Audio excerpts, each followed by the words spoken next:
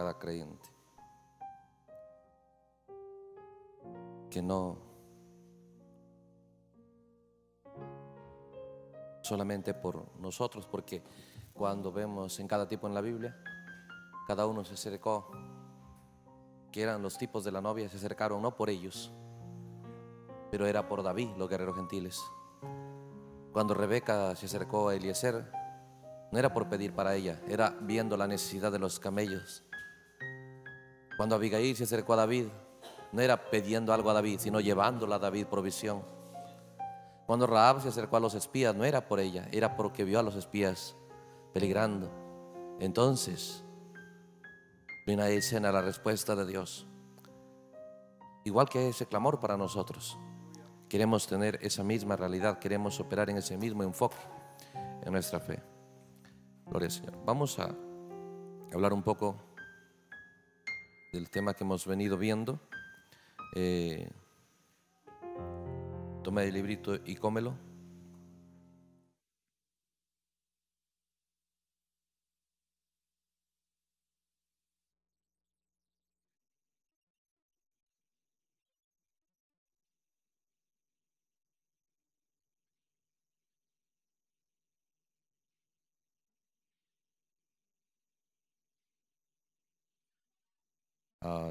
Vamos a leer.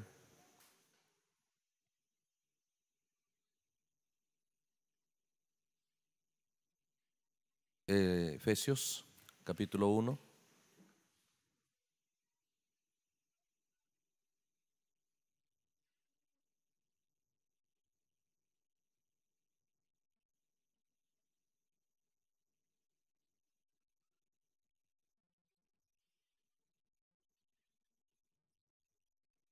La carta de Pablo a los Efesios capítulo 1.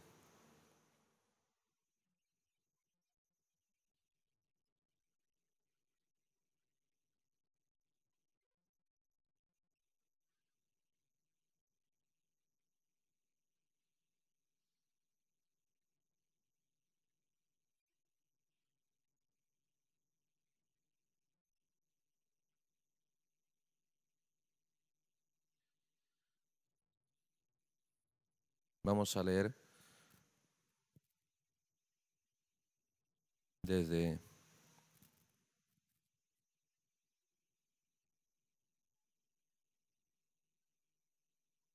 el versículo 3.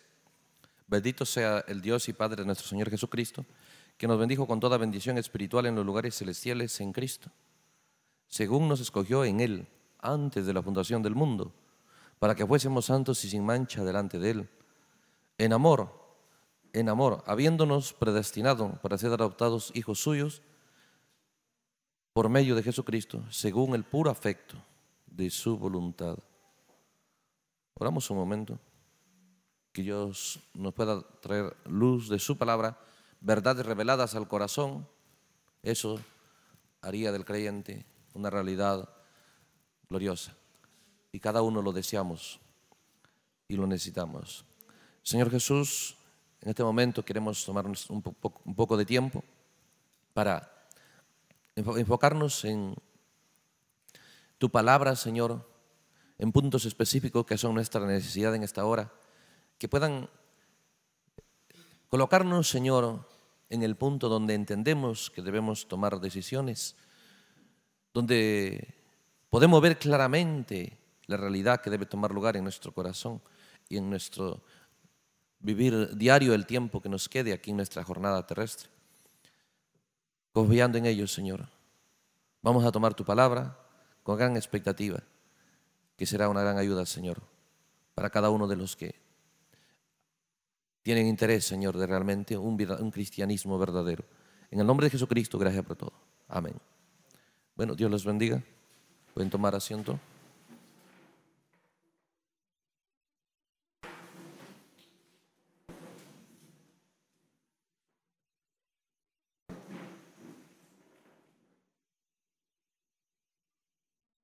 Aleluya.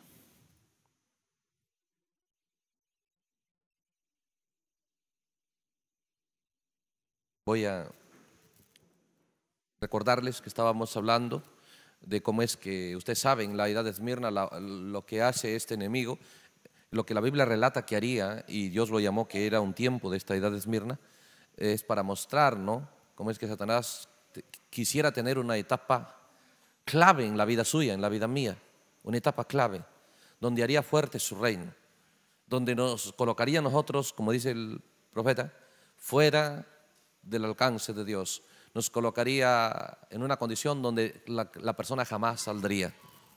¿Sí? Voy a leer una vez más eh, eso para recordarles, era el párrafo 15 de la edad de Esmirna. Estamos nosotros prestando atención a estas verdades por cuanto tenemos la advertencia del mensaje que nos muestra que en este tiempo que él busca tener, allá en las edades de la iglesia se llamó Esmirna. Aquí es una etapa que él busca hallar en la vida suya. Él busca hallar esta misma disponibilidad mía y suya para hacer crecer fuerte su obra que empieza cuando alguien recibe la palabra de Dios. Párrafo 15 dice, eh, así como en la idea de Éfeso se sembró la semilla, ¿no? la semilla de nicolaísmo, la semilla del enemigo, dice, para la trágica edad de Pérgamo, que todavía estaba en el futuro. Esta edad de Esmirna era la lluvia, era el sol, era el nutrimiento que aseguraba, que aseguraba de esa manera la vil corrupción que confirmaría la iglesia en idolatría la cual es fornicación espiritual, de la cual nunca saldría. Ese es el objetivo de Satanás. Que hay en nosotros una parte, un, tiempo para trabajar en nosotros, para llevarnos en una condición donde jamás saldrá la persona. Ese es su plan. Entonces, una de las cosas que va a sacarnos fuera de eso, el profeta empieza a hablar aquí en esta edad de Esmirna, cómo es que debe ser claro lo que ellos perdieron, el entendimiento de lo que era el Espíritu Santo, de lo que era el sello de Dios, de lo que era la vida de Dios. Y nos dimos cuenta que salieron con diferentes entendimientos de lo que era el sello de Dios y, pensaban que tenían el sello de Dios. Igual hoy, la gente piensa que tiene el sello de Dios, que tiene el Espíritu Santo, que tienen a Dios, ¿no? Y se confían nada más en su sentir, en tantas cosas. Pero que Dios nos dé gracia para no confiarnos en nada que nos engañe aquí, pero que sea nuestra confianza en la palabra de Dios, aun si nuestros sentidos nos dijeran diferente, que podamos tenerle más confianza a la palabra de Dios que cualquier otra cosa en la tierra, porque esa es la verdad, no hay algo más grande en todo el universo que la palabra de Dios, que lo que, lo que nos diga otras cosas, bueno, debemos ser sinceros con la palabra de Dios. Entonces, cuando nosotros vimos estas cosas, dice el profeta, el problema que la gente no entendió que Dios es soberano. Perdieron el entendimiento de la soberanía de Dios. E, perdieron el entendimiento que a Dios no se le puede obligar a nada que a Dios no se le puede ofrecer algo y, esperar que lo acepte solo porque lo ofrecemos. Que entendamos que Dios tiene un gusto ya definido. Que entendamos que Dios tiene ya determinado lo que Él quiere y lo que no quiere. Para hacernos conocer lo que Él quiere y lo que no quiere, escribió la Biblia. Y en la Biblia, la Biblia de la revelación de lo que Él quiere y de lo que no quiere. Y Él no va a cambiar en eso. Entonces, cuando se pierde el entendimiento que Dios es soberano, nosotros tenemos cualquier cosa en nuestra vida y esperamos que lo acepte. Esperamos que Él va a cambiar, tal vez como no nos interesa ver a, a quién aceptó, que la Biblia da testimonio a quién aceptó y ver cómo llegó a eso, cómo caminó para yo caminar de la misma manera, porque en mí debe quedar claro, Él no va a aceptar algo diferente que ya aceptó antes, porque Él no cambia. Él es incambiable. El hombre habrá cambiado, pero Dios no ha cambiado ni su plan ni su decisión. No ha cambiado su gusto. Y en su palabra Él dice, eh, Él pensó, Él hizo un plan, un plan eterno, que Él quería una novia para Él. Pero dice que la quería a su gusto, de Él. Eso debe quedar claro para nosotros. Al gusto de Él, al deseo de Él. No le podemos imponer cualquier clase de lo que a Él no le gusta. Entonces, entonces, como dijo Jesús, esta es una de las reglas claves y poderosas aquí en San Mateo. En el Evangelio de San Mateo, Jesús enseñando estas cosas. San Mateo capítulo 7. versículo 12. Así que todas las cosas que queráis que los hombres hagan con vosotros, así también haced vosotros con ellos. Dice, porque esto es la ley y los profetas, lo cual es la Biblia.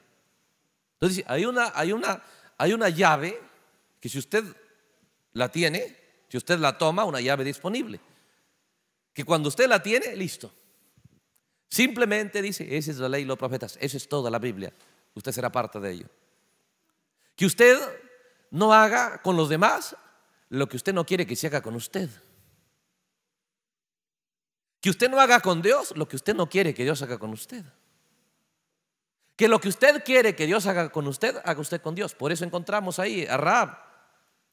Rab dijo, yo quiero ser salva mi vida, yo no quiero perecer, pero viró a los hijos de Dios a punto de perecer, a punto de ser atacados, matados. Ella salió en defensa de ellos. Entonces dijo, como yo he hecho, esos tipos de la novia conocían esta ley, conocían esta regla. Observe, solamente para que usted mire cuán exacto fue eso. Ese es Josué, el libro de Josué. Yo le voy a leerle algunas y a usted va a ir por toda la Biblia y usted va a ver que es la misma regla.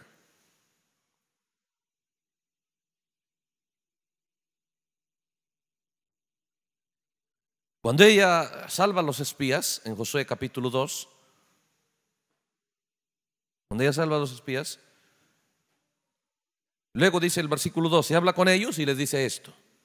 Os ruego pues ahora que me juréis por Jehová, que como he hecho misericordia con vosotros, observe, que como yo he hecho con vosotros, así la haréis vosotros con la casa de mi padre, de la cual me daréis una señal segura. Como yo he hecho, se da cuenta que no podemos cosechar aquello que no hemos hecho. Así como yo he hecho, así la hagáis vosotros. Porque cuando Jesús vino a la tierra, el mismo que envió a Josué y respetó a esta mujer, porque tenía este tipo de entendimiento, por eso la respetó. Cuando Jesús vino, dijo, es que esa es una regla para él. Que lo que usted, ella quería que ese pueblo que ese pueblo, ese ejército que va a acabar con todos, ella quería que ese pueblo no le toque a ellos, a ella, que ese pueblo lo respete a ella. Ella quería no perecer en esa guerra. Entonces vio la posibilidad, cuando usted no quiere perecer en el juicio de Dios, cuando usted no quiere perecer en la gran tribulación, cuando usted no quiere perecer en el infierno, cuando usted no quiere perecer en el lago de fuego, entonces simplemente la posibilidad única es que usted trate a Dios como usted quiere que lo trate. Entonces Dios le dio la posibilidad a ella. ¿No quieres perecer en ese juicio? Entonces ella empezó a abrir sus ojos. Sus ojos se abrieron. Ese pueblo tiene necesidad ahora, dijo. Dos espías están a punto de ser mm, atacados, masacrados, perseguidos están. Y pudieran morir. ¿Se da cuenta? Esa era la posibilidad que ella vio. Y cuando vio esa posibilidad, la abrazó. Se aferró a ella. Y cuando lo logró, ahora sí dijo, como yo he hecho. Yo he tenido misericordia. Yo os he defendido. Les pido que así hagáis conmigo y con la casa de mi Padre. ¿Se da cuenta de estas cosas? Observe si esa no es la regla. Miremos aquí en el libro del profeta Samuel.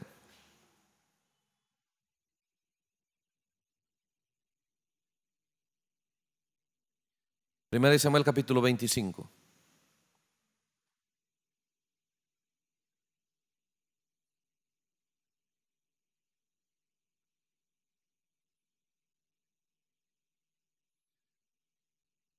Nos damos cuenta que Abigail, esta mujer Abigail entendió lo mal que había sido tratado los siervos de David y David por su marido, Nabal. Los había tratado tan mal y entendió que David estaba tan hambriento que no tenía que comer y mandó a pedir comida. Y lo trató tan mal Nabal y ella se enteró de lo mal que fue tratado David. Entonces rápidamente ella tomó, dice la Biblia, usted lee los versículos anteriores, empezó a tomar mucha provisión para ir a ofrecerlo a David desde los primeros versículos. Y cuando lo encuentra y le ofrece la provisión, dice el versículo 30. Entonces, cuando ella está hablando, le entrega a David todo eso y le pide perdón por todo lo que ha hecho su marido. Y luego dice el versículo 30, y acontecerá que cuando Jehová haga con mi Señor, conforme a todo el bien que ha hablado de ti, y te establezca por príncipe sobre Israel, entonces, Señor mío, no tendrás motivo de pena ni de mordimiento por haber derramado sangre sin causa, o por haberte vengado de ti mismo. Guárdese pues mi Señor. Y cuando Jehová haga bien a mi Señor, escuche, acuérdate de tu sierva. Ella entendió. Yo he hecho esto. Ahora sí, sé que eso me abre acceso, me da un acceso. Que yo también puedo tener parte en eso. Porque yo he tenido la actitud correcta contigo y, cuando, y hoy cuando la estás pasando mal, yo tengo la actitud correcta contigo. Cuando, cuando estés bien, espero que yo también tenga parte contigo. Acuérdate de tu sierva. Lo mismo, hoy la están pasando mal los espías. He tenido la actitud correcta con ustedes. Pero cuando ustedes estén victoriosos, acuérdense de mí, dijo Rahab. Porque cuando Jesús entonces vino y dijo, lo que queráis que los hombres hagan, ¿Se da cuenta? También vosotros hacer lo mismo con ellos. Esa es, la clave en la Biblia. Entonces, cuando nosotros, nosotros eso es lo que en Esmirna se pierde. Cuando esta unción viene y este tiempo se establece para la persona, la persona pierde ese entendimiento. Y no es justo con Dios. No. Quiere todo de Dios, pero no quiere respetarlo a Él, obedecerlo a Él honrarlo a Él. Ve el Evangelio en una condición que no es la correcta. Sabe que están malas cosas. Tiene posibilidad, la misma posibilidad que tenía Raab de defender la causa. La misma posibilidad que tenía Abigail de proveer para el hambre de David. Dijo, dijo el profeta, él está muy sediento. Sucede es que él quiere ver una iglesia leal a él, como la iglesia apostólica. Fiel a Él. ¿Quién espera que usted lo haga cuando mira que nadie quiere hacerlo? Pero Él tiene hambre de eso. Nadie quería proveer para David. Pero David, pero Abigail vio eso. Ella no esperó que alguien lo haga. Ella al riesgo de su vida. Se arriesgó por proveer para David. Muchas veces nosotros tenemos que arriesgarnos. Porque no va a encontrar apoyo para honrar, honrar a personas tal vez será fácil. Pero en esta hora, honrar a Dios. Usted no va a encontrar el apoyo de la política, el apoyo de la religión, muchas veces no va a encontrar el apoyo de la iglesia, muchas veces no va a encontrar el apoyo ni del predicador. Pero en medio de todos esos obstáculos, cuando usted toma una decisión de que Dios necesita en esta hora, que se le represente bien, que su nombre sea glorificado, entonces usted empezará a clamar, no por mí, Señor, no por mí. Yo no tengo hambre, tal vez dijo Abigail, no era la hambrienta. Y si Abigail también era pobre y mendiga, no, no, ella lo tenía todo, su, su marido era poderoso, en riqueza y todo. Pero ella miró, hubo un profeta como Samuel, tal como este día, un profeta Samuel allá, ha dado un mensaje y en su mensaje dice que el que debe entrar al reino es este David pero está perseguido, está rechazado. Igual Dios envió un profeta como Samuel en este día. Y ese mensaje nos dice que lo que debería tomar el reino del corazón de cada persona es la palabra de Dios. Y ese reino no tiene ayuda. Ese reino de la palabra de Dios es menospreciado. Lo tienen a David, pero no lo honran.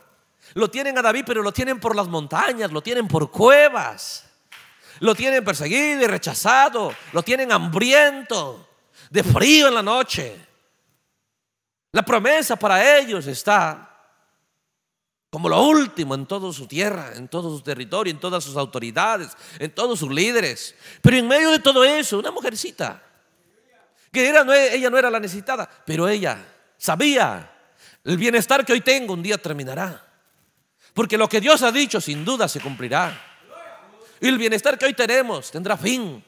Porque lo que Dios ha dicho sin duda se cumplirá que este mensaje ha venido para producir un pueblo con fe de rapto, para producir el retorno del Evangelio a Israel, Entonces tomará lugar Armagedón. Entonces los reinos de este mundo dejarán de ser. Todo esto que hoy tenemos, estas grandes cosas que pudiéramos haber tenido como Abigail o como Raab que tenía su casa en el lugar más codiciado que eran los muros de Jericó. Tal vez era muy caro ahí, pero ella entendía eso, va a terminar un día. Eso va a perecer, pero yo sé que hay algo que no va a perecer. Ese es el reino de ese profeta Moisés. Es el reino de ese profeta que Dios envió a la tierra. Ese reino de ese pueblo no va a perecer. Entonces, yo quiero que Dios me dio oportunidad, pero ella sabía, tengo que dejar mi vida errada, tengo que dejar mis gustos, mi costumbre errado de años de ramera y de, y de tanto ganar plata fácil y todo ello. Ella sabía, Dios no me va a tomar en cuenta, Dios no me va a tomar en serio si yo no tomo una decisión. Tal vez eso me privará de ganancias. Tal vez eso me privará de popularidad, de dinero para las modas. Pero yo sé que hay algo que no va a perecer y no hay tiempo que perder en ello. Igual, Abigail. Sabía que ella podía tener en esa hora de todo. Pero ella sabía, un, un hombre como Naval no puede permanecer. Y atacar a David, eso no puede irle bien. ¿Se da cuenta? Entonces, ella tomó una decisión, no lo obligaron, ella decidió. Por eso en esta hora exactamente se requiere lo mismo. Se requiere que usted entienda, Dios es soberano. Él ya dejó en su palabra escrito lo que quiere y lo que no quiere. En esta hora, usted no lo puede obligar a Él y Él no lo puede obligar a usted. Pero en esta hora, Él, por su propia decisión, como dice Pablo, por, por su puro afecto, por su puro amor, ha tomado una decisión de hacer una obra en este día, de trabajar de una forma tan exacta y precisa y severa con el mensajero, corregirlo, alinearlo, prepararlo, para traer un mensaje, para revelar siete sellos, para entregar recursos para el que quiera, para el que quiera fe de rapto, para el que quiera fe perfecta, para el que quiera vivir una vida en servicio, lo cual es el Espíritu Santo. Para el que quiera vivir una vida que da honra y gloria al nombre de Él. Tenga cómo hacerlo, pero no será forzado, no será obligado. ¿Se da cuenta? Usted puede ver ahí a, ahí a Rebeca, que son los tipos de la novia. Ahí el mensajero le dice, mira, tengo sed, dame un poco de agua. Nada más eso. Pero ella vio la necesidad y los camellos tan hambrientos, tan sedientos. ¿Qué era el camello? Era tipo del Espíritu Santo, lo cual es el mensaje, lo cual es la palabra de Dios, lo cual es el plan de Dios. Aquello que ella no sabía, pero si ella atendía a eso, lo que hacía con los camellos, los camellos iban a hacer con ella. Ella tenía necesidad, ella tenía necesidad de tener una mejor vida y podía tener una mejor vida, de poder tener un hogar como nunca lo ha tenido jamás. Alguien pero a lo que atendió, cuando vio la necesidad, cuando vio la necesidad de estos camellos que eran tipo del Espíritu Santo, cuando vio la sed, la desesperación de agua,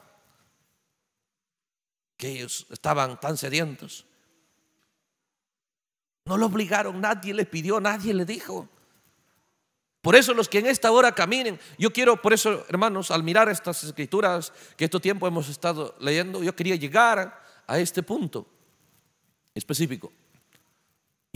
Y, de aquí en adelante es una nueva decisión, es como que usted empezara de nuevo.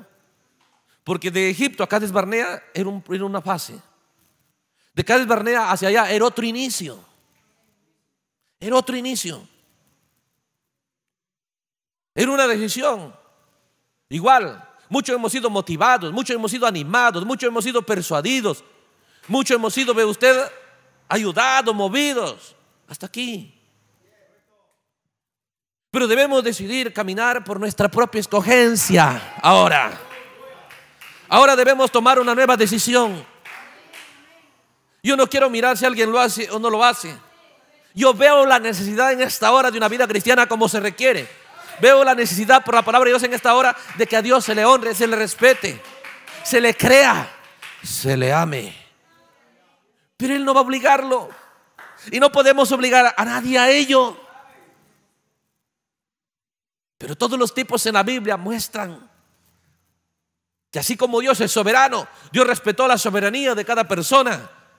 Y hay algo que nosotros debemos hacer y yo debo hacer, respetar la soberanía suya. Nunca meterme en la voluntad propia suya. Usted no puede meterse en mi propia voluntad. Ningunos debemos meternos en la voluntad de nadie, ni Dios lo hace.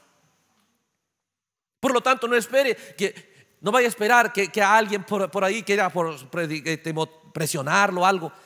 Un verdadero cristiano no hará eso si tiene a Dios, porque Dios no hace eso.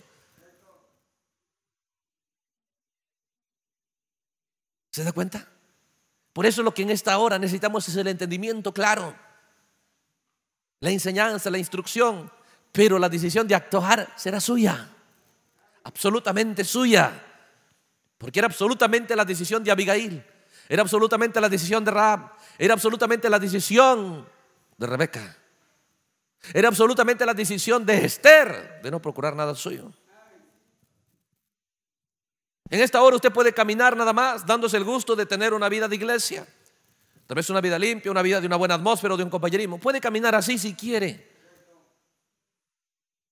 Pero si usted es aquel que quiere cumplir el tipo de la novia, sus ojos serán abiertos a la necesidad de Dios. Usted tiene necesidades, cualquiera tiene necesidades, pero en esa hora,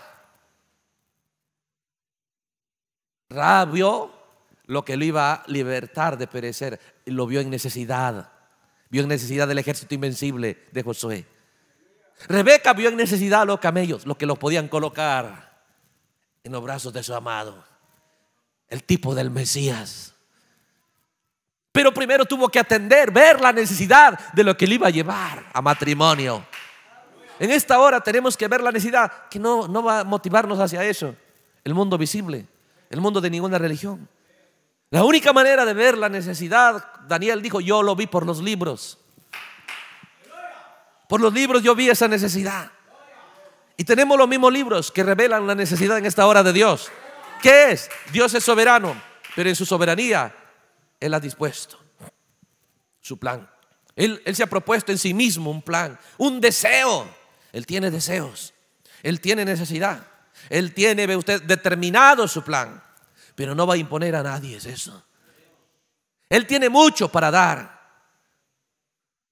pero en cada tipo Él reveló en la Biblia, aquellos que Él los espera, son aquellos que por su propia decisión les interesa. Oh, hermanos, Dios les interesa a ellos. Pero muchas veces nosotros vamos a Dios porque nos interesa nosotros mismos. Tal vez me interesa mi economía, voy a Dios. Me interesa mi salud, voy a Dios. Me interesa esto. Pero aquellos que lo lograrán en esta hora son aquellos que tendrán interés en descubrir lo que a Dios le interesa. Descubrieron lo que los camellos tenían interés y desesperación. Descubrieron lo que los espías tenían interés. Descubrieron allá lo que a David tenía interés. Estos que reinaron con David, tipo de la novia, los guerreros gentiles. No fueron a David a decirle, necesito esto, necesito esto, porque aparentemente vieron un David que no tenía nada que darles. En esta hora hemos llegado a ese punto donde el pueblo de Dios será abierto sus ojos. Solo aquellos que avanzarán serán aquellos que su ojo es abierto a ver la necesidad de Dios. Y, lo que usted quiere que él haga con él, cuando usted entiende, este mundo va a perecer. Pero hay alguien que me puede ayudar. Pero ese, ese alguien que me puede ayudar, hoy está en necesidad. Ese alguien su mensaje de ese alguien.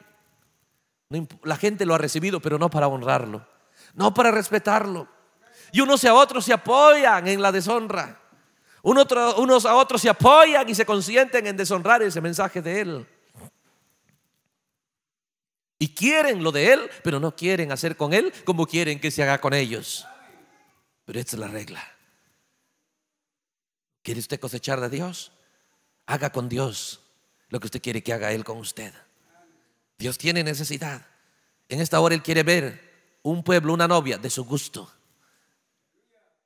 Por eso Esther dijo, ¿cómo le gusta al rey una, reina? ¿Qué tipo de mujer quiere Él? No solo una cara bonita, no solo una virgen,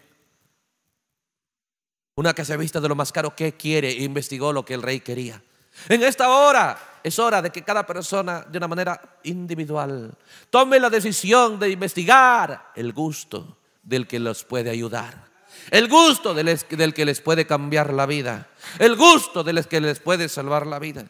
El gusto del que les puede dar un hogar eterno. Para eso es comer el libro.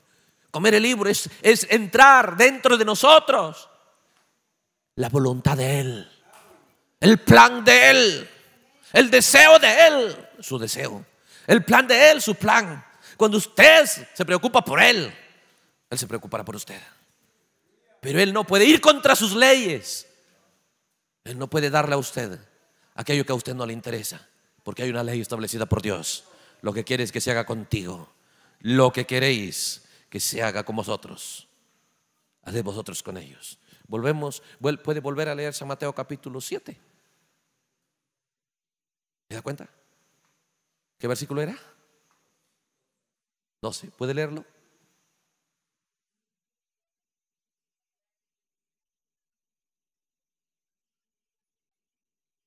Todas las cosas que querráis que los hombres hagamos, todas las cosas.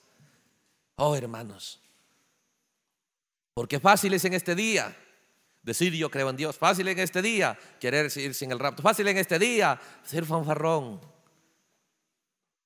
Y decir yo creo en Él, yo voy en el rapto, yo soy predestinado. Esa es una cosa. Pero hacer, hacer lo que a Él le agrada es otra cosa. Y en este caso, no importa quién dice que usted no se ve en el rapto, si usted le agrada a Él. Y no importa aquí si todo el mundo y todos los santos ungidos le dicen a usted que se va en el rapto, si a Él no le agrada. Debemos entender que la vida eterna depende de Él. Que el entrar allá depende de Él. Por aquí dijo, yo soy la puerta. No hay otro lugar por donde entrar, Él es la única puerta. No hay otro lugar por donde ir, Él es el único camino. No hay otra verdad en la cual caminar, es la única verdad.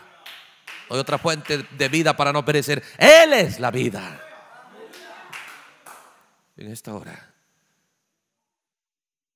yo quiero llamarla a usted a una decisión. A una decisión como que fuera en nuestro principio de conocer este mensaje. A una decisión donde caminemos con este entendimiento. No puedo recibir nada de Él si no me interesa y actúo por lo que Él le interesa y desea y, necesita. Que seamos un pueblo que camina buscando conocer lo que a Él le agrada y actuando en ello. Porque no hay otra forma de cosechar de Él. Mire cada tipo en la Biblia. Fueron los gentiles a reinar con Él, pero primero lucharon por David. Entonces reinaron con David. Raab entró libre y no pereció con el pueblo de Josué, pero primero lo defendió. Rebeca Subió en el camello y caminó hacia su esposo, pero primero atendió la sed del camello. Esther recibió una gran fiesta del rey y la corona de, la reina, ser reina, pero primero tuvo que pagar el precio de investigar lo que al rey le agrada y no procurar sus deseos, sino lo que el rey deseaba. Entonces el rey le dio los deseos de ella. Entonces el rey la alegró a ella. ¿Se da cuenta? Observe la vida de Ruth, la moabita. Por eso, por eso buscamos tener estos cantos, para que nos concienticen la realidad donde habrá una real cosecha de Dios. Ella cosechó en gran manera, la gran señora vos, pero primero yo dijo, yo sé lo que has hecho, yo sé lo que has hecho con tu suegra, mi familia. En esta hora usted camina en un mundo donde está a la vista los dos espías. Está a la vista un mensaje que no hay donde quien lo reciba. Todo el mundo busca desacreditarlo. Unos atacándolo desde los púlpitos, otros indiferente a ello, otros con sus vidas atacándolo, con su deshonra, con su actitud. La misma escena de los dos espías es aquí. ¿Quién cosechará el beneficio de esta gran hora? Una como Raab. Gente como Raab que logre ver la condición difícil en la que se encuentra el que lo puede ayudar. ¿Quién le puede ayudar en esta hora? La gente busca ganarse favores con los predicadores, favores con la iglesia, favores con la gente, con los amigos, con las grandes autoridades. Solo se puede, ellos pueden dar una ayuda temporal, pero termina. Pero este mundo va a perecer, su vida va a perecer, su tiempo no es para siempre. Y en esa hora, cuando termine, ¿quién es el único que le puede ayudar? Lo que quiere usted a esa hora. A esa hora donde no hay papá, en esa hora donde no hay mamá, en esa hora donde no hay policía que llamar a defendernos, en esa hora donde no hay ejército, en esa hora donde no hay dinero, donde no hay nada que lo pueda ayudar. En esa hora hay uno que lo puede ayudar. Hay uno que puede hacer con usted una gran ayuda. Pero todo lo que querráis que los hombres hagan con vosotros, haz vosotros con ellos. Esto es la ley y los profetas. Eh, ¿Qué es eso? La Biblia. ¿Qué es eso? El plan de Dios. ¿Qué es eso? La voluntad de Dios. Queremos caminar en esta hora libres. Queremos caminar cuidándonos de algo. No interferir en la voluntad propia de la persona. No interferir en la voluntad propia de la persona. Queremos caminar no ungidos por el sistema denominacional de organizar la fe. Es decir, listo, nos ponemos de acuerdo. Tú estás de acuerdo, tú no, pero mayoría manda y tienen que sujetarse. No queremos organizar la fe. Queremos, queremos caminar de tal manera donde cada uno sea porque así lo decide. Yo voy por acá. El que, el que mira la escritura caminará por ahí. El otro que mira la escritura caminará por ahí. Y se encontrarán, no porque se han puesto de acuerdo, se encontrarán porque han tomado una decisión de agradar a aquel que saben, saben que les puede ayudar.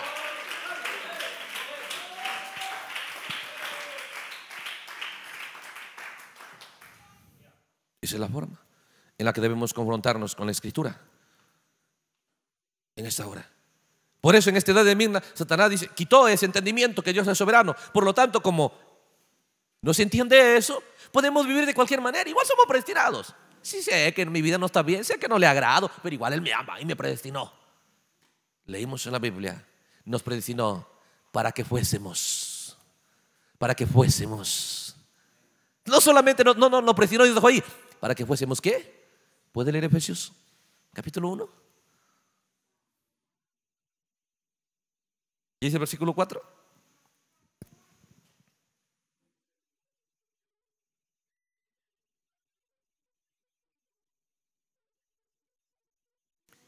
Para que fuésemos delante de Él. Hermano, pero delante del pastor, ¿qué importa qué puede hacer el pastor por ti? Yo no puedo hacer nada ni por mí mismo.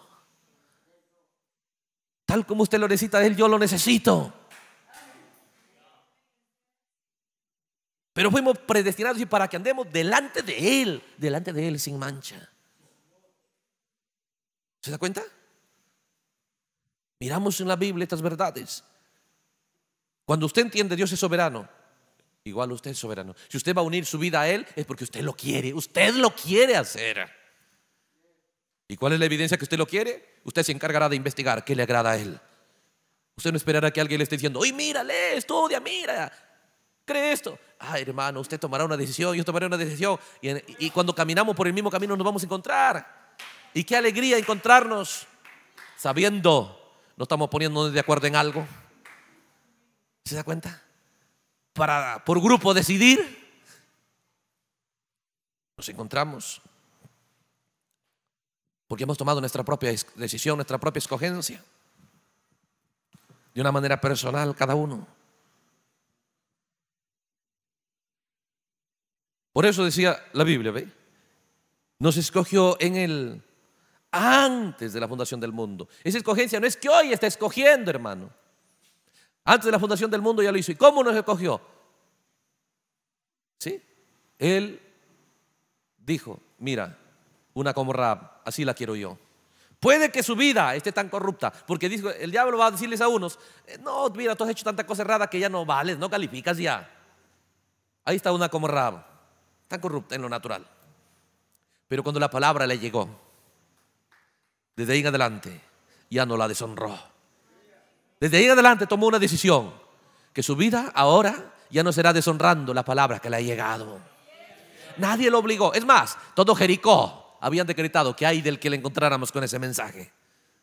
Muchos obstáculos, pero en medio de todos esos obstáculos tomó su decisión. No hubo una iglesia que lo, que lo ayudó, no hubo un predicador que lo ayudó. Decidió ella. ¿Se da cuenta? Por eso Dios está mostrando. Puede, puede la vida suya de alguien terrible, en esa condición sucia, pero desde que la palabra de Dios lo llegó. Desde esa hora ella no dijo, voy a luchar para liberarme de esto. No, ella no dijo eso. Simplemente dijo, se acabó.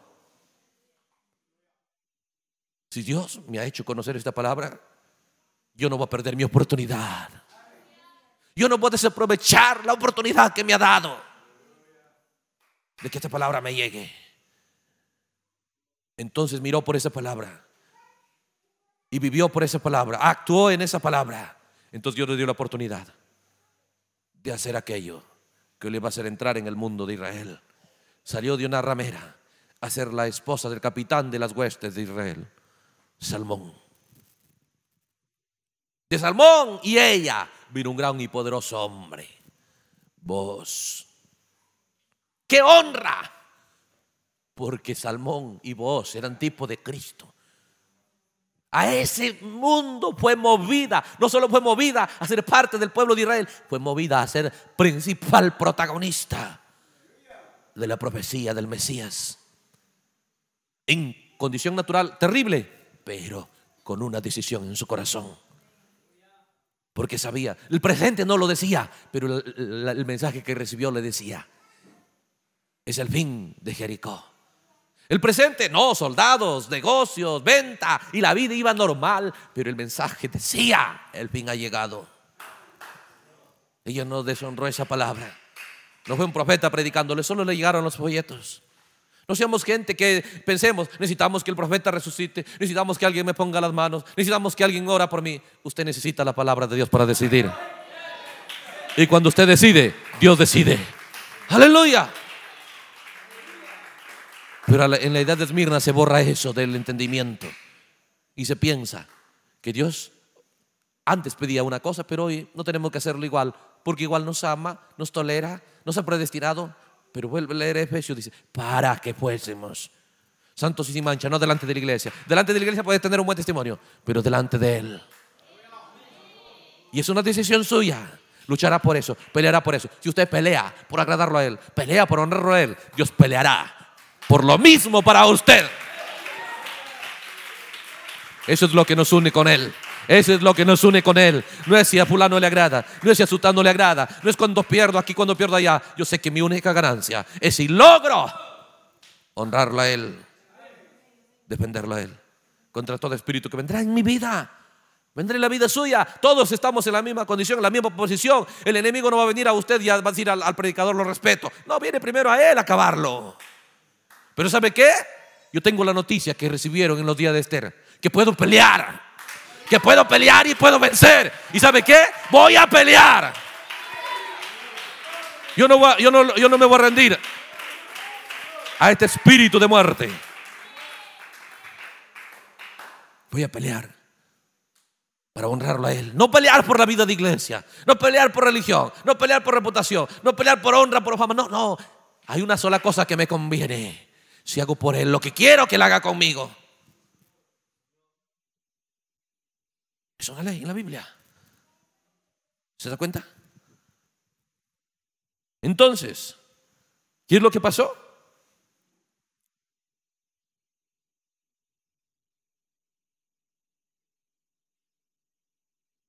Usted lee el párrafo 162 y le damos credibilidad, lo releemos y lo vuelve a leer y lo vuelve a leer y vuélvalo y vuélvalo hasta que usted lo crea. Una vez que usted cree eso, listo.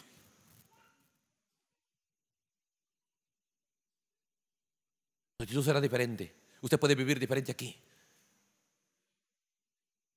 Usted puede disfrutar los últimos días que nos quede aquí en la, tierra. Porque no depende de otros, es personal. Esto es personal. Observe, párrafo 162. Ahora, según la palabra de Dios, la novia fue escogida antes de la fundación del mundo. ¿Se da cuenta que, que- que la novia que él escogió, él ya dijo, antes de la fundación del mundo, dijo, esta es la novia que yo quiero, punto. ¿Y cómo sabemos lo que antes de la fundación del mundo él dijo? Lo que antes de la fundación del, del mundo él escogió y dijo, nos la dio a conocer a través de profetas. Esa es la Biblia. La Biblia es, es la revelación de lo que él tenía antes de la fundación del mundo, de lo que él pensó antes de la fundación del mundo, de lo que él escogió antes de la fundación del mundo. Y él muestra que escogería a mucha gente que estarían tan errados como Raab, pero al llegarles la palabra de Dios tomarían una decisión. Mucha gente estaría tan errada como la samaritana, pero al encontrarse con, el Mesías tomarían una decisión. Mucha gente estaría tan derrotada como los guerreros gentiles en los días de David. Pero al llegar la promesa y el mensaje de Samuel a ellos, que el- quién es el verdadero rey, ellos no perdieron la oportunidad. Ellos defendieron lo que, lo que sabían que era la verdad. Pelearon por lo que sabían que era la verdad. Defendieron lo que sabían que era la verdad. Y llegaron su vida por eso. ¿Dónde terminaron? Gobernando en un reino de, de derrotados, de locos, de endeudados. No importa la condición suya que esté, eso no importa. Usted puede estar, tal vez su condición puede ser la peor en la economía, la peor en lo moral, la peor tal vez en la doctrina errada, en deudas, en tantas cosas. Pero ¿qué es lo que lo puede sacar? Y la gente quiere que Dios lo saque. Oh, Señor, ayúdame, sácame de estas deudas. Sí, Él lo puede hacer. Pero hay una ley que no puede quebrantar. No podrá hacer por usted algo que usted no haga por Él primero. Hermano, pero no es por obras. Cierto. El precio para eso ya fue pagado. Pero para que eso sea recibido, hay una ley. Para apropiarnos de eso. Cuando usted hace algo por él, es que ahí está comprando su salvación. Eso ya está comprado. Pero para que eso sea accesible a nosotros, ahí están los tipos en la Biblia. Por eso, fuimos predestinados, muy bien, fui predestinado, pero para. Y el para no se considera. No, ya fui predestinado, y dice que puede hacer lo que quiera. No coma eso. Entonces dice, ve, fue escogida esta novia antes de la fundación del mundo. Y este escogimiento de la novia, este escogimiento de la novia no fue de la iglesia o algo, fue propuesto en sí mismo. Se propuso él mismo. Fue su escogencia, su decisión. No dijo, oye, ¿qué te parece? ¿Escoja a fulano o a sutano? No, no, no, no. Él dijo, déjenme a mí solo.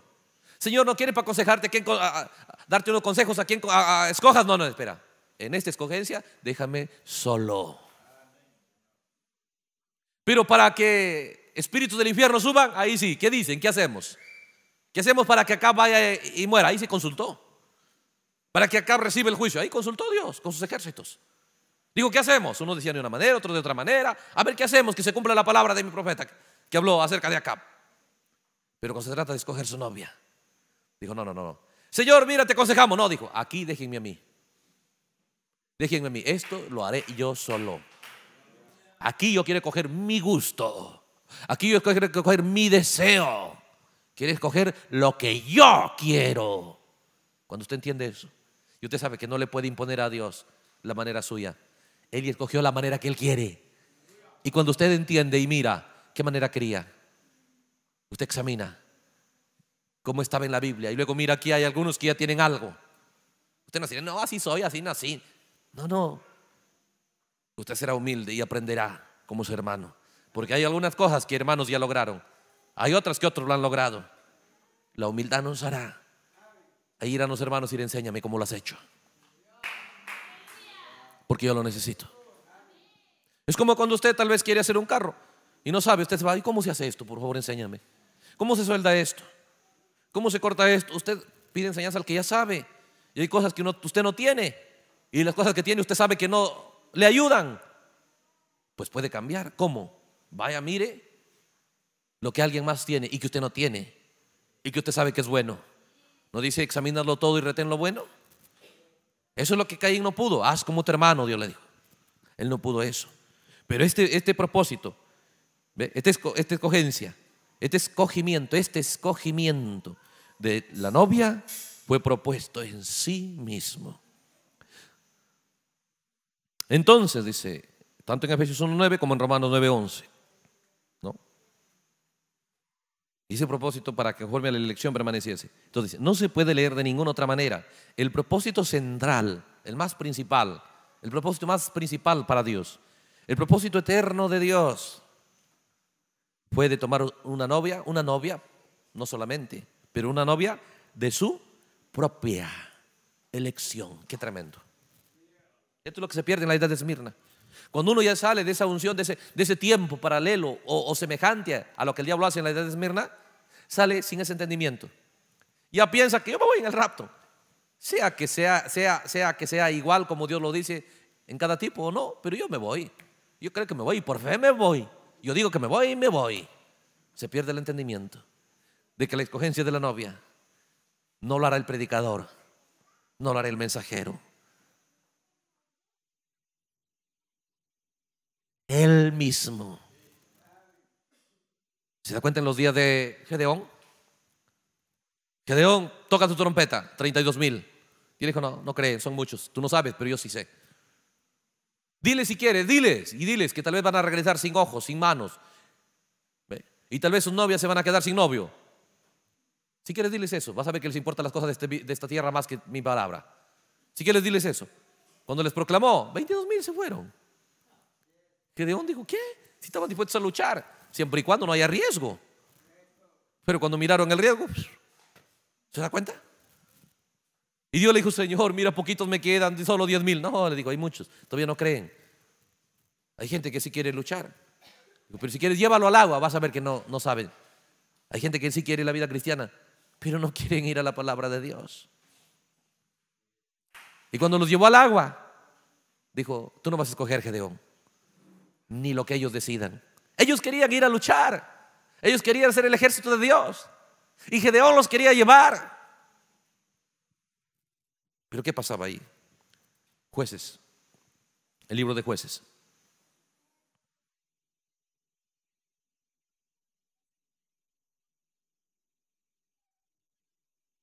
El capítulo 7.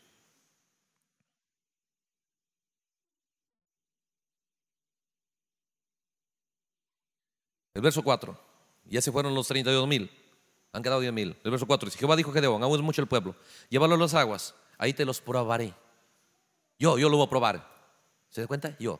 Y del que yo, observe, del que yo te diga, vaya, este contigo, irá contigo. ¿Se da cuenta que la base final ya no depende de la persona? Ya no depende del, del Gedeón, del líder, del predicador. Es Dios quien dice qué pasa y qué no pasa. O oh, cuando, cuando el creyente en esta hora toma una decisión de preocuparse por la decisión que Dios tomará. Por la decisión que Dios tomará con respecto a Él. Dios tomará una decisión con respecto a usted. Esa decisión no es si, usted lo decide, porque ellos, los diez mil, ya quieren ir, ellos quieren ir y Gedeón los quiere llevar. Y yo le dice, no, no, no, no, el que yo te diga. Y solo Dios dijo 300. También los demás dijeron, pero yo quiero ir. Ya no vale ni siquiera que quieras ir. Por eso no basta, hermano, yo quiero irme del rapto, yo quiero vida eterna, yo no quiero ir al infierno. Eso no basta, no basta. Es que usted entienda que hay una ley, lo que quiere es que Él haga contigo, haz tú con Él. Si Él no se agrada, no puede cosechar usted nada de Él. Porque la fase final es Él escogiendo. ¿Se da cuenta? Con ese entendimiento debemos caminar en esta hora. Él va a tomar una decisión respecto a usted. Él lo va a tomar. Hoy puede usted mucho considerar lo que usted siente, lo que a usted le parece, lo que a mí me parece, y entre nosotros podemos considerar los unos a los otros. Pero ¿sabe qué? Yo quiero soltarme. Y quiero que usted esté suelto. No atado a la iglesia, no atado a religión, no atado a que tenemos días de culto, a que tengo que estar ahí, a que tengo que estar en la transmisión. No se ate a nada. Hágalo si usted lo ha decidido, si usted lo quiere hacer. No lo va a reclamar porque no vino al culto, porque no viene, porque llega tarde. No, no, no, no, no. Camine como usted quiera caminar, porque ya conoce, porque ya entiende. Y esta es la hora donde debemos tomar una decisión. Y cuando Dios lo vea a usted, que usted lo hace por su decisión, disfrutará hacerlo. Porque si usted no decide, lo hará porque debe hacerlo, porque tiene que hacerlo. Pero cuando usted toma una decisión, eso significa que usted quiere hacerlo. Entonces hay gente que hace las cosas, son, solo hay dos clases de gente. El que trabaja Y hace, y hace las cosas porque lo tiene que hacer. Y luego existe el otro, que hace las cosas porque le gusta hacerlo. Y el que, y el que trabaja por, por lo que de- por, porque lo debe hacer, no va a estar allá. Porque así como Dios no quiere una novia que no sea su gusto, tampoco Dios va a recibir a alguien que ha hecho las cosas sin, sin su gusto. Esa es la clave final. Esa es la clave final. Permítame mostrárselo eso aquí en Deuteronomio.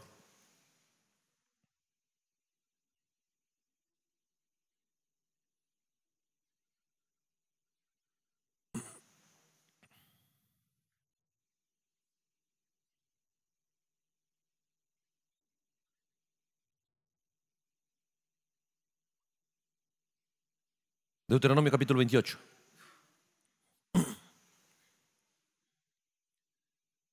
Dice la Biblia que habrá bendiciones y habrá maldiciones. Pero observe por qué sucederá el mundo de maldiciones, los dos caminos ahí. Aquí da la clave, simplemente. Versículo 45. Versículo 45. Oh, hermano, esto es tremendo. Versículo 45 dice, vendrán sobre ti todas estas maldiciones y te perseguirán y te alcanzarán hasta que perezcas. Pero ¿por qué vendrán? Por cuanto no habrás atendido, no a la iglesia, no al predicador, pero no habrás atendido a la voz de Jehová tu Dios, para guardar sus mandamientos y estatutos que Él te mandó, y serán en ti por señal y por maravilla en tu descendencia para siempre, por cuanto no serviste a Jehová tu Dios, ¿qué? Con alegría y con gozo de corazón. ¿Se da cuenta? Que nosotros, el real cristianismo, ¿dónde? ¿Dónde se define? Cuando usted toma una decisión de disfrutar lo que Dios requiere. Cuando usted toma una decisión de ser feliz en la palabra de Dios. Fuera de eso, Dios, pero Señor, ¿por qué me rechazas? Yo hice todo, no con gozo de corazón. Hiciste todo, pero no lo disfrutaste. Hiciste todo, pero no fuiste feliz con ello. Fuiste todo, hiciste todo, pero no te deleitaste en ello. ¿Se da cuenta que eso, que eso, que eso no se puede personificar? Dice, te alcanzarán las maldiciones. ¿Pero por qué te alcanzarán? Por cuanto no serviste a Jehová, tu Dios, con alegría. ¿Por cuánto lo hiciste? Sin alegría. ¿Se da cuenta cuando Israel, cuando Israel ofrecía todo tipo de sacrificio? Y yo decía, estoy harto de eso. Pero Señor, tú has mandado ofrendas. Sí, pero ya no lo hacen con gozo, con alegría. Uy, es verdad, tengo que llevar esa ofrenda. Uy, y tenía que hacer esto, lo otro. No, tengo que hacerlo, si no Dios se desagrada. Si ya está desagradado el tan solo hecho de que a nosotros no nos hace feliz. Si la vida cristiana llega a ser como un obstáculo, como algo que es pesado, no vale que usted lo haga, es porque para Dios es como que no lo hubiese hecho. Como que no lo hubiese hecho. Por eso dice, ¿qué es lo que se pierde en esta edad? Mira el entendimiento, Dios es soberano. Ella decidió que acepte y que no acepta. Y en esa decisión, una de las cosas que nunca aceptará, que usted haga obediencia a Él, sin gozo y alegría. Que usted lo haga, pero sin ánimo. Como el niño, haz esto. No, pero haz esto. Ya está bien, voy a hacerlo. Y lo hace. Pero no es, eso no será el hogar de Dios. Porque no estaba enojadísima y lo obligaron y le dijeron que lo torturaban a Rebeca si no hacía eso. No estaba de, sufriendo y, lo torturaron a Ruth para ir en pos de Noemí. No, lo quisieron hacer. Los guerreros gentiles no los tenían la espada en el cuello, pelea o te mato. No. Querían pelear, es más, querían pelear gran batalla. No solo querían por pelear por David, querían pelear en gran manera por David. Lo mismo usted. Cada persona tiene potenciales. Cada persona tiene recursos. Que si Él quiere y ama a Dios. Por eso dice, lo escogió en amor, porque lo ama. Porque si no lo amara, no lo hubiese dado. Dice, ¿cómo nos muestra Dios su amor? Dándonos la oportunidad, mostrándonos su voluntad. Y cuando usted responde de la misma manera con amor, hermano, será impresionante lo que cada persona hará por Dios. Pero cuando nosotros no hemos llegado a esa decisión, no hacemos porque otros no hacen. No decidimos porque otros todavía no deciden. Siempre queremos actuar en grupo. Pero debemos cambiar. Yo quiero actuar porque yo quiero actuar. Yo quiero hacer las cosas porque yo quiero hacerlo. Oh, hermano, usted disfrutará eso. ¿Se da cuenta? Porque somos conscientes, dentro de nosotros hay un hambre, un hacer por Dios. Podemos tener lo que sea afuera, no nos, no nos satisface. Hay muy adentro una voz que nos jala Él. Pero Satanás en su astucia buscará que, no, que nosotros querramos caminar por los dos caminos. Y ahí es donde vendrá. No disfrutará usted bien el mundo y tampoco a Dios. Ni disfruta aquí ni al otro lado. Porque las cosas de Dios no le agradan en gran manera, no lo disfruta, porque quiere un poquito acá, le jala. Y cuando va acá, tampoco lo disfruta, porque su conciencia está que lo acusa.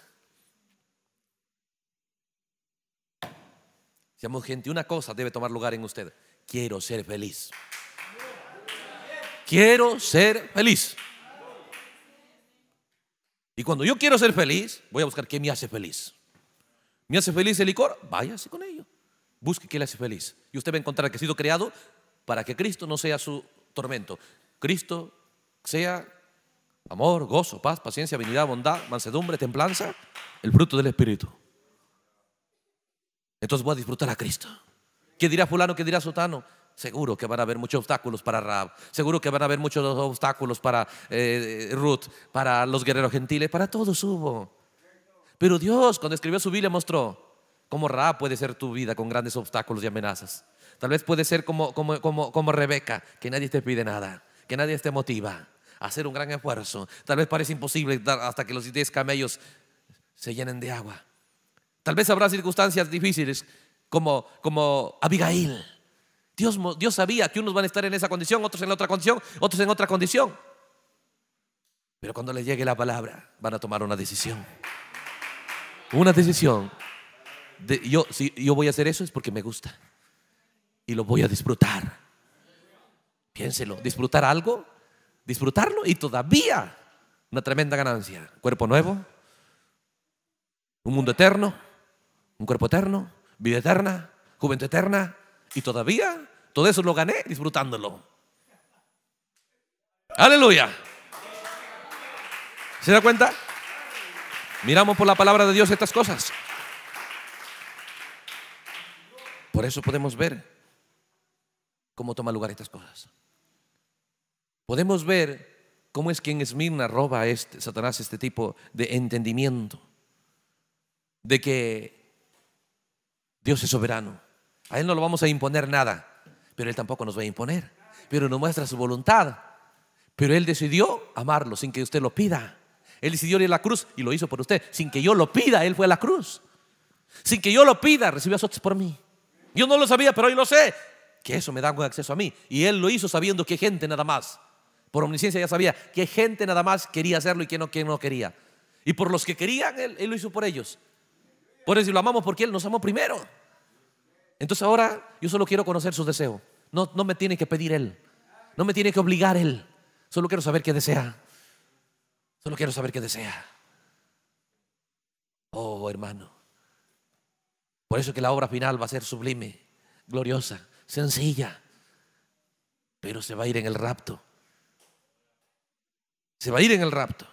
Una realidad sublime. Vemos eso en la palabra de Dios. Vemos eso en esta edad de Esmirna. Por eso decía que El propósito central, el propósito eterno, de tomar una novia de su propia elección. Qué tremendo. O sea que nosotros como creyentes, como esa mujer sobrenatural debemos entender, no es a mí se me gusta el vestido, es a él le gusta. No es si a mí me gusta mi manera de hacer. Tal vez, tal vez a mí me gusta gritar y a él no le gusta, a él le gusta un poco silencio. ¿Eh? Tal vez a mí me gusta eh, renegar esto, lo otro. Vamos a ver qué le gusta a él. Uno empieza a investigar. ¿Cómo, cómo quiere ver Él las cosas?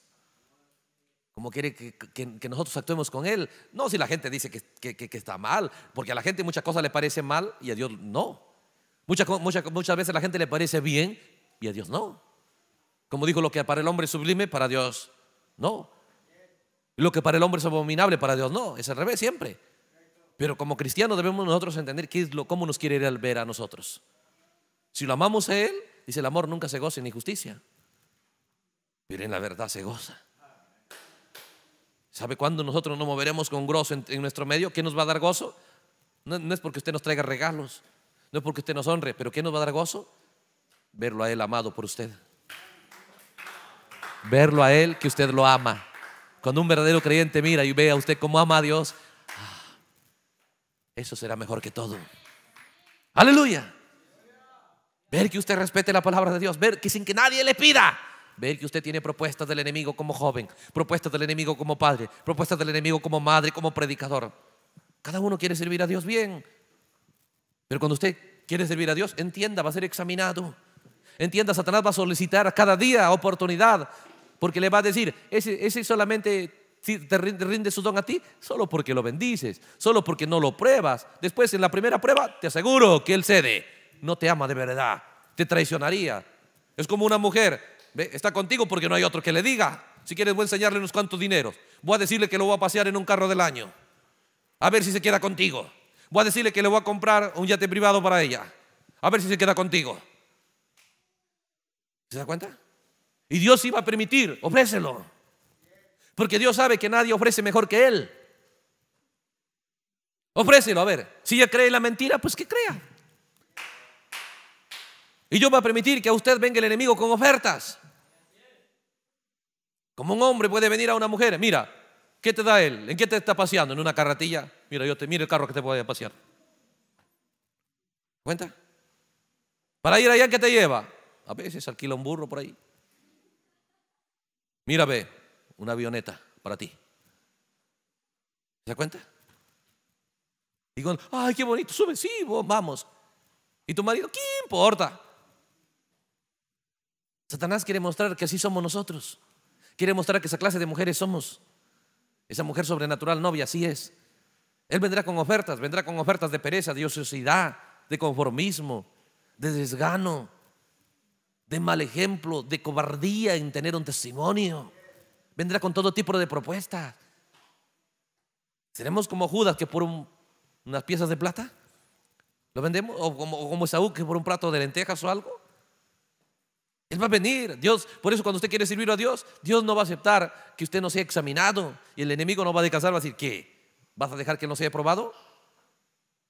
Si lo engañé a Eva, este también lo engaño. Te lo aseguro que te lo engaño. Déjamelo. Y yo voy a decir, está bien, golpéalo. Y muchos de nosotros no entendemos que cuando usted quiere servir a Dios, va a ser examinado. Dios cogió una novia y mostró, fue examinada o no Rahab. Todos en la ciudad, nadie le daba la razón. No tenía apoyo de nadie, pero decidió. ¿Y quién quebró su decisión? ¿Quién quebró su decisión? La última puede costarte la vida si lo hayan los espías ahí, pues arriesgó su vida. Vamos a, vamos a tener que nosotros responder a ese mismo, a ese mismo tipo de, exámenes. Y vamos a responder, si somos la novia, con la misma respuesta que respondió Rahab.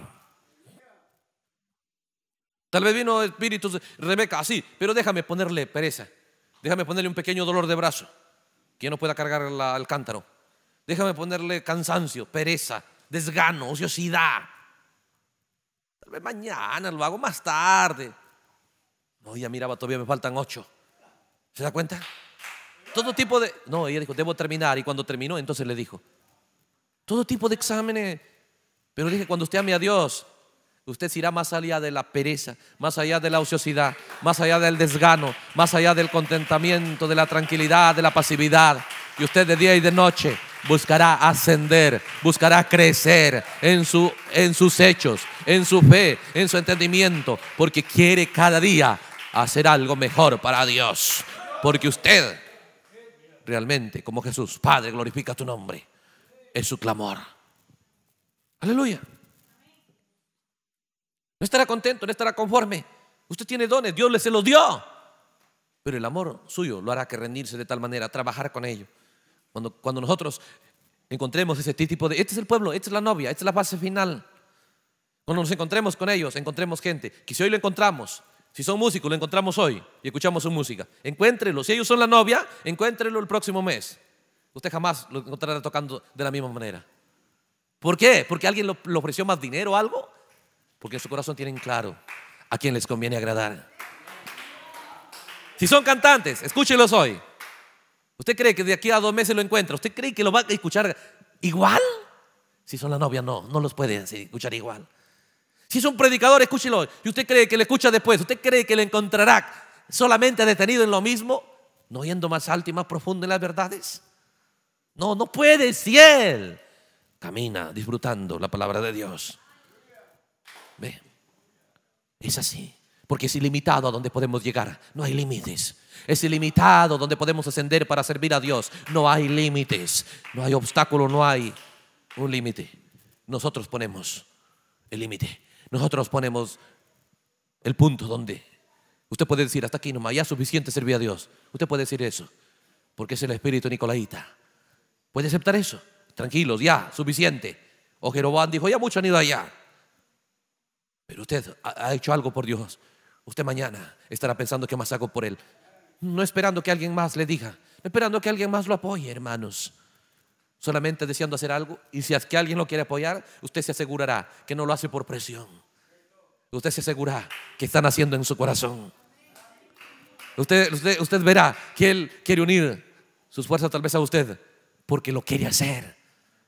Ahí es donde Dios desciende. Pero Dios no desciende donde alguien hace las cosas por presión, porque lo tengan que hacer.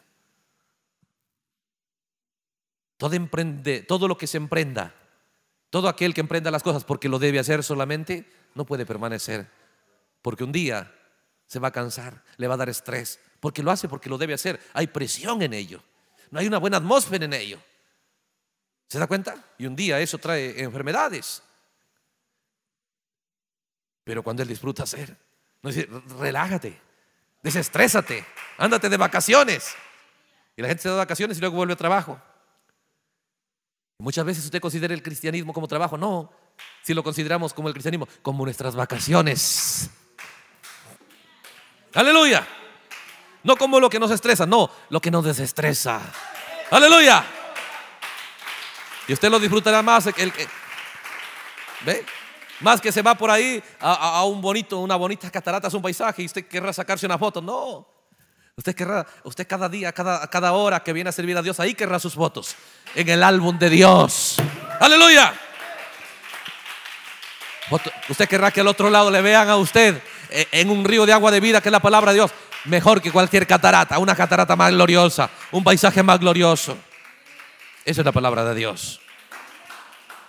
Cuando nosotros vemos gente, vemos la religión se ha sumergido en un mundo de presión en un mundo donde la gente hace las cosas ahí. Qué duro la vida cristiana. Qué difícil, hermano. Luchando, hermano. ¿Cómo estás, hermano? Luchando, hermano. ¿Y tú cómo estás, hermano? Disfrutando, hermano. ¿Cómo estás, hermano? Siendo feliz, hermano. ¿Cómo estás? Lleno de gozo. Oh, qué tremendo que Dios me da vacaciones que no terminan. Me ofreció vacaciones eternas. Vamos un poquito por allá, hacemos las cosas aquí en esta tierra. Venid a mí, los que estáis trabajados y cargados. Yo os haré difícil la vida. Yo os haré estresada la vida. Yo os haré descansar. Aleluya. Una novia de su propia elección. Y aquí el propósito estaba en sí mismo. No es, no es si la iglesia acuerda que sean así las cosas. No es el predicador decide que sean así las cosas. Es un propósito que Dios se ha propuesto, que Él ha escogido y se ha propuesto en sí mismo. Y siendo que es un propósito eterno, fue decretado antes de la fundación del mundo.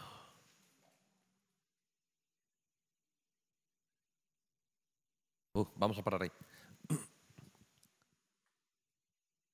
¿Se da cuenta? ¿Se da cuenta, ve usted?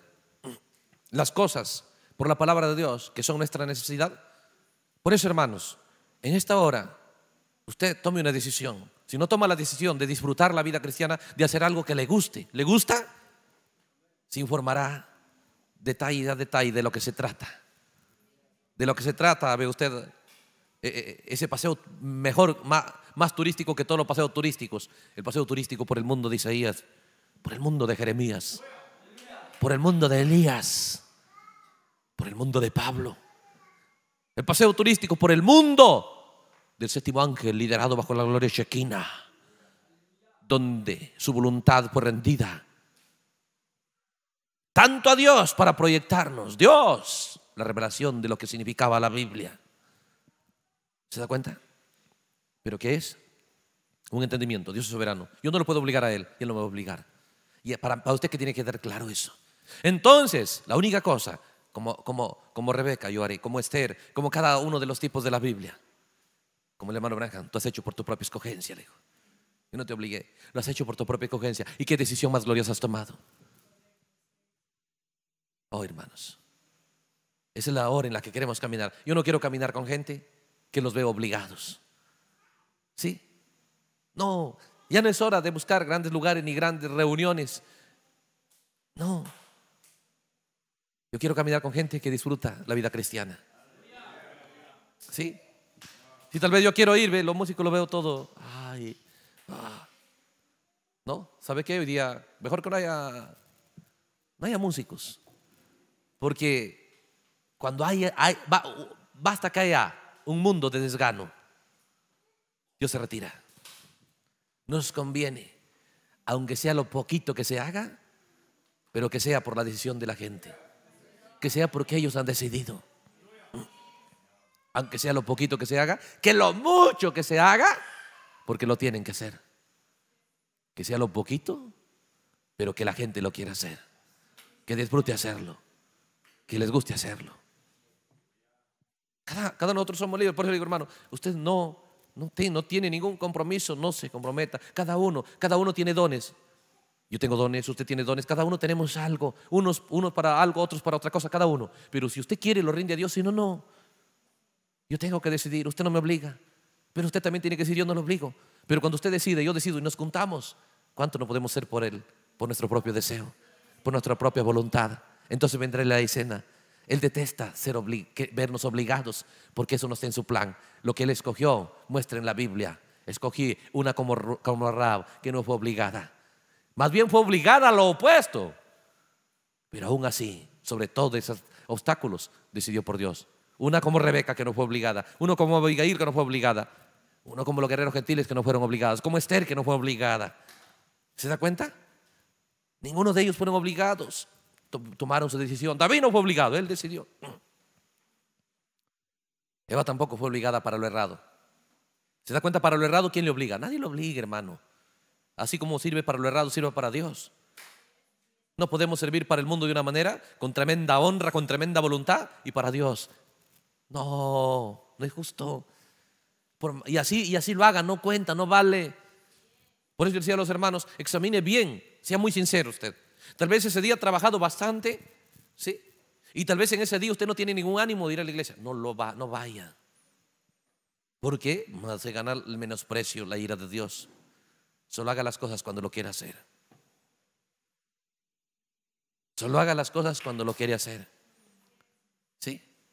Uy, ese, uy, tengo que ver la transmisión, tengo que enviar cámaras, van a decir que no estoy. No, no haga lo que no disfruta hacer. Porque no, de nada vale que lo haga. Solo tal vez los hermanos lo ven, pero entre a un mundo donde usted es tan sincero que lo que hace es porque usted, usted, usted lo quiere hacer. Ahí se mueve Dios. No basta, no basta hacer lo que debemos hacer, querer hacer lo que nos conviene hacer. Entonces, cuando nosotros dijimos, eh, Jesús no fue, qué terrible, cada azote, ¿cómo cree que lo recibió? Y por esto sinvergüenza tendré que pasar esto. No. Lo, lo, quisieron, quisieron llorar por él, tranquila, dijo, por mí no llore. Yo sé por qué lo hago. Yo sé por qué pongo mi vida. A mí nadie me la quita, dijo. A mí nadie me la quita, yo mismo de mí mismo la pongo. Él disfrutó pagando el precio tan difícil, tan terrible, pero lo hizo por su propia elección. Puede ser terrible, situaciones adversas, para agradarlo a Él, pero agrádelo a Él, le conviene a usted. No, a mí no, todo verdadero cristiano. No a la hermana, no a ningún predicador que usted lo agarre, lo agrade. ¿Se da cuenta? Pero, si usted agrada a Dios, usted le conviene agradarlo a Él. Usted cosechará de Él. Usted unirá su vida a Él. Lo que nos une con Él es que nosotros lo hagamos por nuestra propia escogencia. Eso le une a usted a Él. Lo que lo hacemos por lo que lo tenemos que hacer nos une con la iglesia. Pero cuando hacemos la cosa por nuestra propia escogencia, nos une con Él. Entonces disfrutamos su presencia. Disfrutamos en la vida cristiana. Pero cuando nosotros lo hacemos por lo que sabemos que tenemos que hacerlo, entonces solo nos unimos con la iglesia y no disfrutamos. ¿Se da cuenta? ¿Qué es? Dios abre su palabra, nos muestra lo que debemos hacer. Entonces aparecerá en escena los obstáculos, el mundo del afecto, el mundo del sentir, el mundo del razonamiento, y usted decide, usted decide a quién prestar atención. ¿Se da cuenta? Usted decide dónde entrar y disfrutar las cosas. Puede quedarse con el mundo del hombre viejo o puede ir y satisfacerse usted mismo, que es el alma. Y el alma ha sido diseñada para navegar en el río del agua de la vida como el pez arcoíris. Aleluya. El alma ha sido diseñada para comer, comer ese maná escondido, para comer ese, ese maná fresco, donde entraba solo el sacerdote. Vamos a parar ahí por el tiempo, para que puedan cantar un par de cantos más. Aleluya. Agradecemos también a Dios y, cada vez que vemos a nuestros hermanos nos preguntamos por qué Dios nos permite eso y para qué y que nos ayude a tener siempre la actitud correcta cuando vemos a nuestros hermanos visitándonos. En este caso, nuestra hermana, eh, hermana Belén ha estado con nosotros, ¿cuánto? Casi un mes, ¿no? Más un mes. Más de un mes.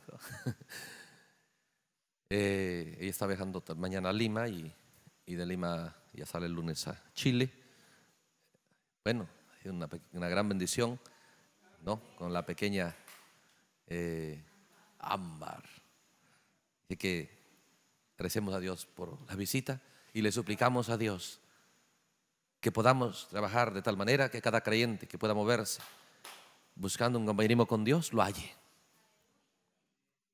Que no seamos un estorbo, que seamos, como dijo Pablo, colaboradores de Él para ese pueblo que lo ama a Él, que lo busca a Él, que lo desea a Él. Aleluya. Entonces, eh, oramos un momento y luego pues pueden cantar este, de nuevo, Padre, glorifica tu nombre y luego pues hemos hablado de la Moabita Ruth y luego que Dios nos haga quedarnos en la presencia de la palabra para madurar en nuestro gozo, en nuestro ánimo, en nuestra fe por el Señor. Tres cantos entonces. Oramos. Señor Jesús, Agradecemos en este momento por la oportunidad que nos das para meditar tu palabra.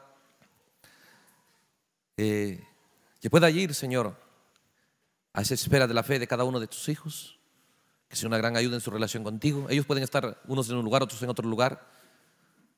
Y tal vez Roma nos ha bombardeado a través de sus diferentes ramas, sus sistemas, de que tenemos que estar atados a un lugar, a un sistema humano.